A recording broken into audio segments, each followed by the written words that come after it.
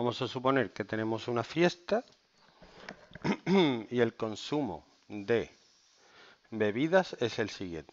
Tenemos agua, tenemos cola, tenemos limón y tenemos naranja.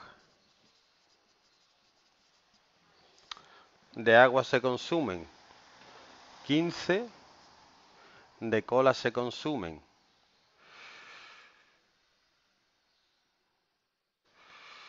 10 de limón,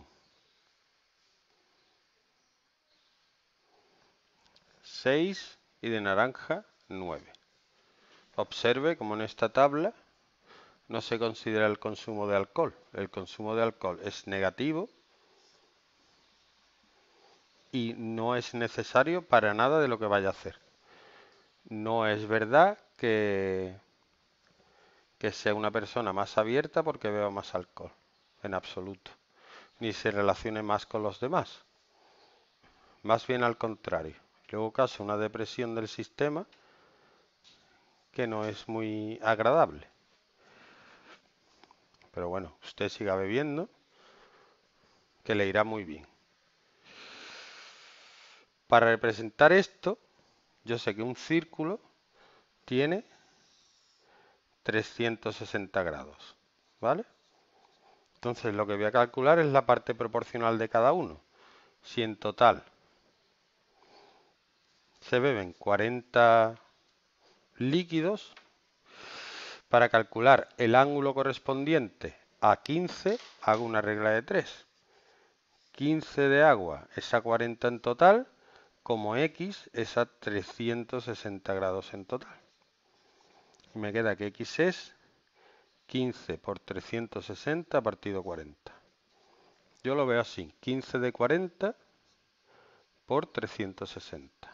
10 de 40 por 360. 6 de 40 por 360 y 9 de 40 por 360.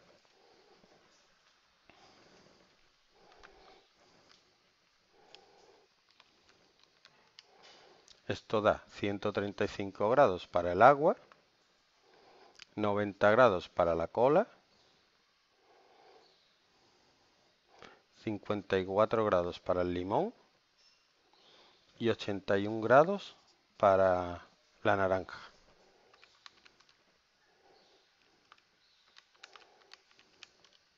¿Cómo se representa? Pues para ello va a necesitar un compás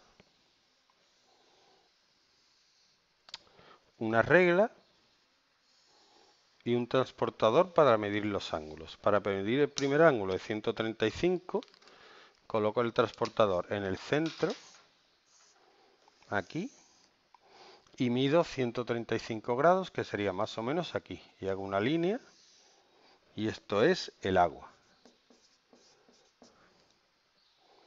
Luego, pongo el transportador aquí,